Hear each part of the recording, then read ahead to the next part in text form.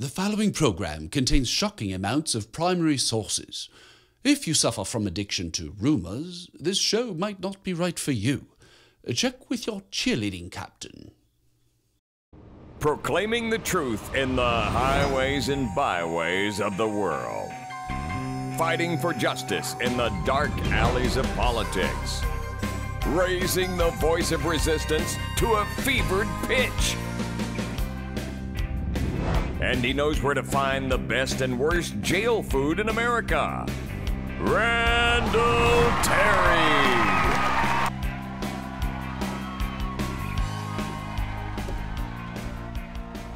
Welcome, ladies and gentlemen. It is I, your servant Randall.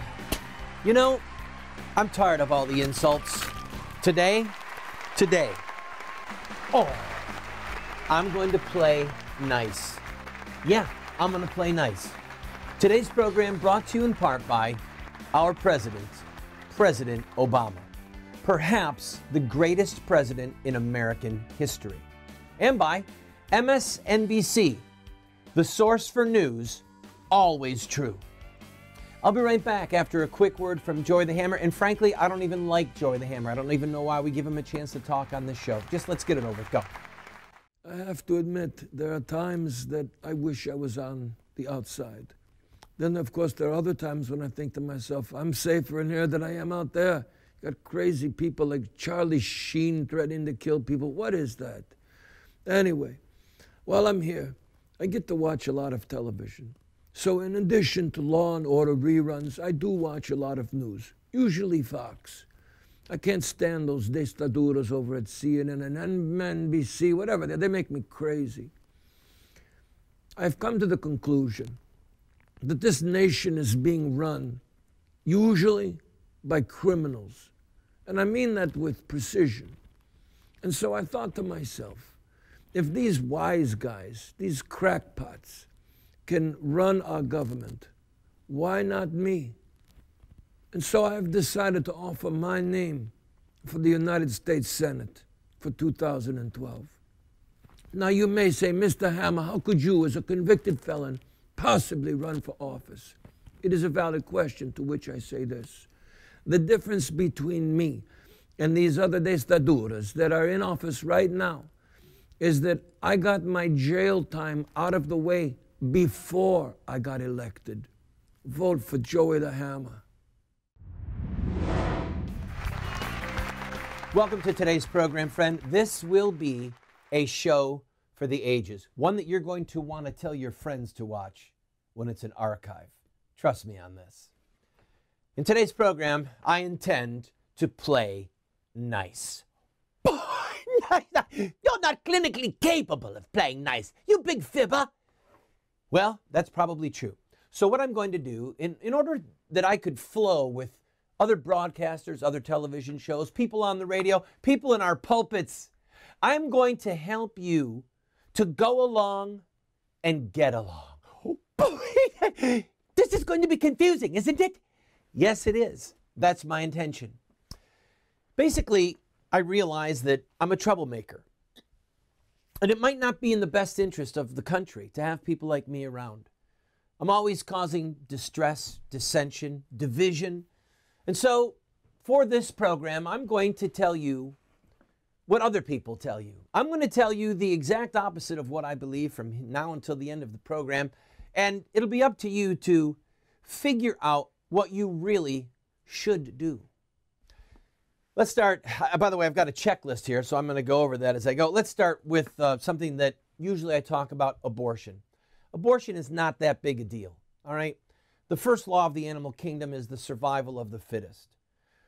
Unborn babies, fetuses, blobs of cells, obviously, many of them are unwanted and should be discarded. In the animal kingdom, many animals destroy their young, many animals eat their young. So, why not behave like the rest of the animal kingdom. A woman has a right over her own body. She should be able to do what she wants with her body when she wants to. End of story. Homosexual marriage. Well, who are you? Who am I to tell two loving adults what they can and cannot do in a loving relationship? If two men want to be married, frankly, it's their choice. And I don't think that it's appropriate for us to try and impose an antiquated, out of date, arcane morality on them. And if you and I would simply be more loving and more understanding, well, we would all get along a lot better. The Bible. My advice to those of you who are Christians is number one, read the Bible as if it were uh, a lot of allegories, not necessarily true in the ultimate sense of the word, but that it has good lessons to be learned. I want to emphasize don't, don't waste your time reading the Old Testament. In the Old Testament, God was very grumpy. Uh, he was killing a lot of people. There's a lot of wars and things. I, if you're going to read the Bible at all, I emphasize, or I want to ask you to, I emphasize, read the New Testament. Read how Jesus promoted love, love, and then more love. If you'll read the New Testament, skip the Old Testament, and even read the New Testament sparingly, you'll be a lot better off as a person. History. Why waste your time reading and studying history when there's so much cool stuff on television right now that you can watch? You can watch uh, Two and a Half Men. You can follow the Charlie Sheen saga. There are so many salacious rumors out there, so many things to pique your interest and to, to get inside of your soul and kind of get the adrenaline flowing, the juices flowing in your own imagination. You can watch people do stuff on television that you probably wouldn't even do, but you can live vicariously through them and not waste your time studying history. Money. Well, if I were you, what I would do is number one, I would not save. Why save? Spend. Spend your children's inheritance. Spend your grandchildren's inheritance. Make yourself happy with the money that you have. And trust in the dollar. Don't worry about these people that say that, that the dollar is on the verge of collapse. The people who say invest in gold and buy silver, forget about all that. Trust the American dollar. It's been here since the dawn of time, and it's going to be here until the end of time. All right, let's talk about debt. Why wait to save up money to buy something that you want when you can charge it? Sears, Penney's, they'll give you a credit card. All you have to do is apply, even if your credit isn't that good. If you've got a three or a four year old car, why drive around in something that could break down when you could have a brand new car? All you need is a small payment book. It works for others. Why shouldn't it work for you? Let's see. All right, let's talk just for a minute about our spiritual leaders. I can't think of a time in history, and by the way, I've given up studying history, but I can't think of a time in history when we've had better Catholic bishops and better evangelical and Protestant leaders than right now.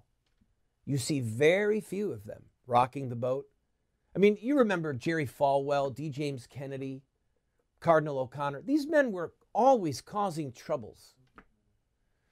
They were very judgmental. They made people feel uncomfortable they're gone, all right? They're dead. And the new crop of leaders that have arisen, talking about a purpose filled life, talking about blending Islam and Christianity together. I think the phrase now is Chrislam. See, that's the wave of the future. We need preachers who are going to tell us how to have more faith so we can get more money, right? Get a better return on our spiritual investment so that we can have more to consume upon ourselves for the glory of God. Television. I know that I've been a harsh critic about TV in times past, but the more I've thought about it, the more I think that you should spend as much time in front of the TV as you possibly can. Is it a nice day outside? The pollen count could be high. If you go out and run around, you could fall down, you could trip, you could hurt yourself. Your children are far better off watching those three to six hours a day than they are reading or outside exercising. Invest more time in your television. You bought it, you should enjoy it. The internet. You know, when you're on the internet, you get to feel like you're a part of something that's happening. You can blog anonymously, you can take a stand on issues, or you can just watch other people. It used to be that there were three TV stations. Then we got cable and there were a lot more. Now there's the internet. You can find just about anything you want, anytime you want. Just use that search engine. Why waste your time talking to your spouse, reading to your children, when for a couple hundred bucks you can buy a laptop for every single person in your family, and each of you spend quality time online? When we come back from this break, I'm going to talk to you about the price of food and the price of gas. I'm going to set you free. Don't go. Randall always liked my father because of his wit. An old friend of Dad's one morning asked him, Hi, Ed, how have you been? And Dad said, Ever since I got up this morning, I've been sick in bed on two chairs.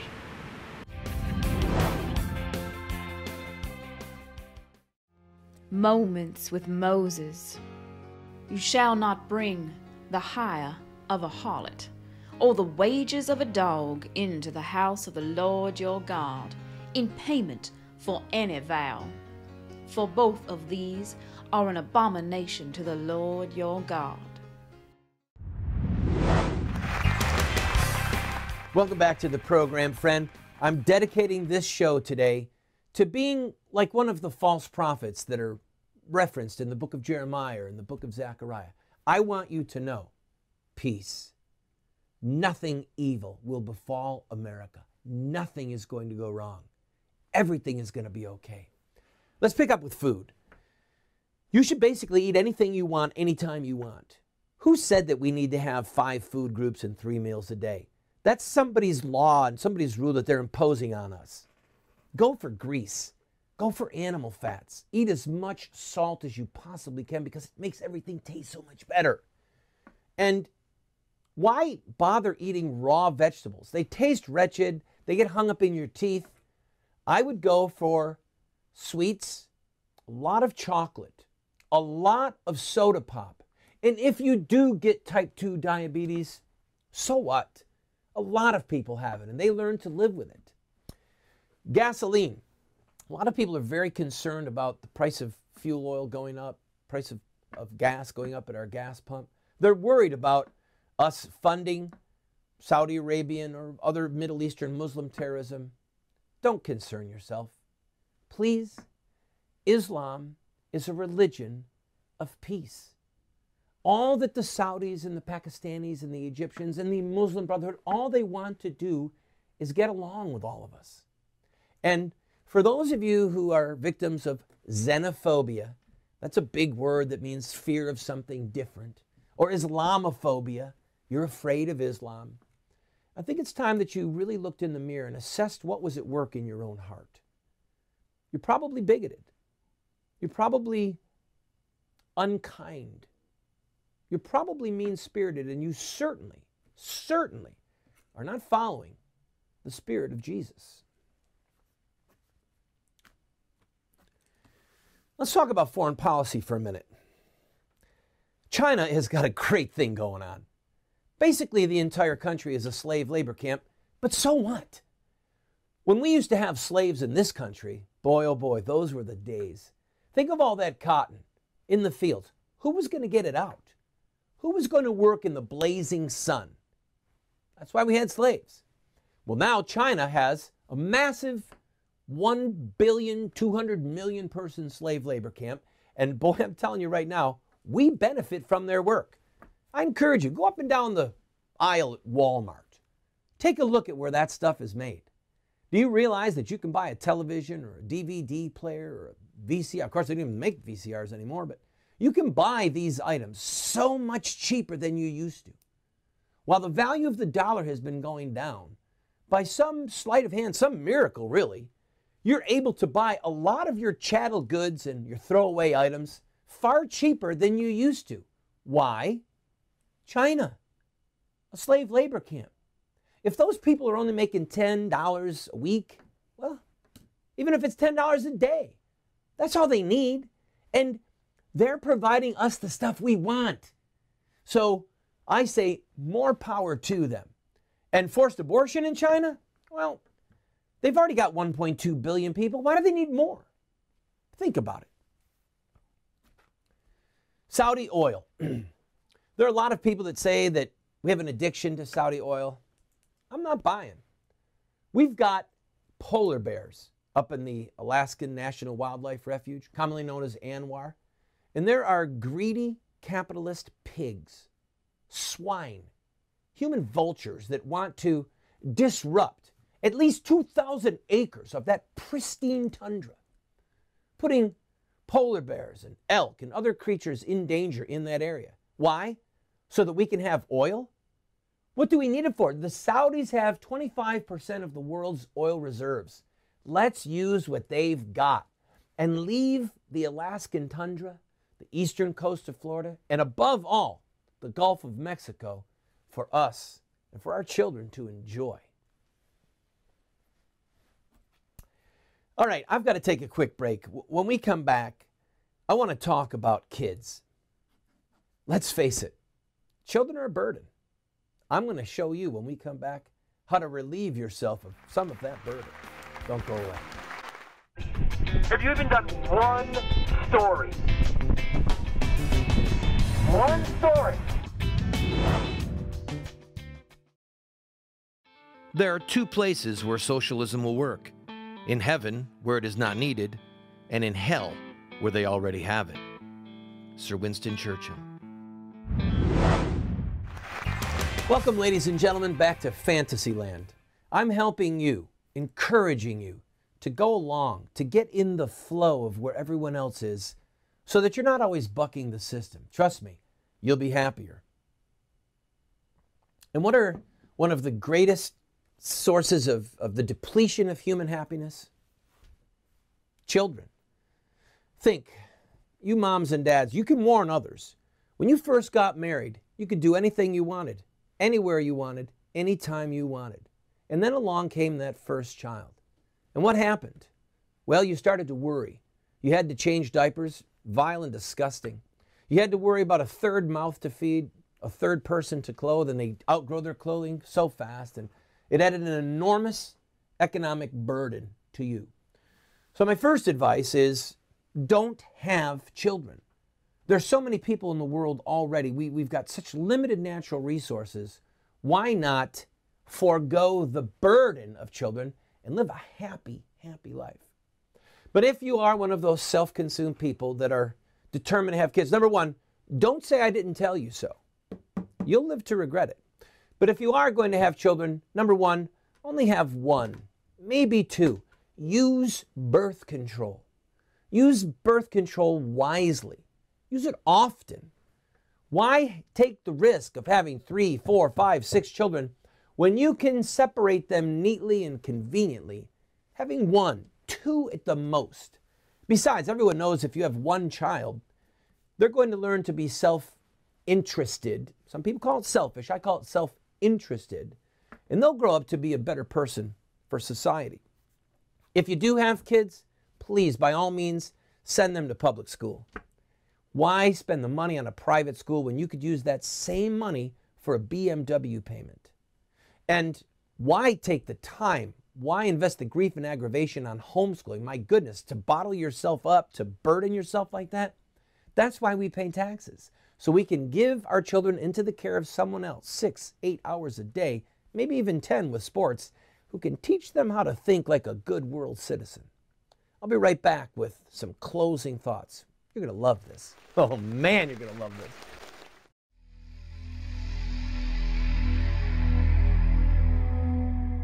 Both we and our fathers have sinned. We have committed iniquity. We have done wickedly.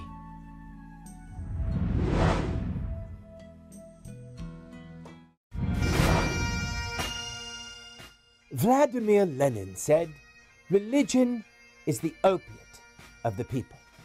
Now there's a thinker for you. Friends, the network has asked us to remove Mr. Terry for the remainder of today's program. The reason is quite simple. He was mocking that which is accurate. We want someone to say the things that Mr. Terry was saying, but to mean them. So here's our bit of encouragement for you think for yourself. Truth is what you determine it to be. And once you can synchronize your heart and soul with the truths of the universe as you define them, you will then be truly happy. Above all, stay out of politics.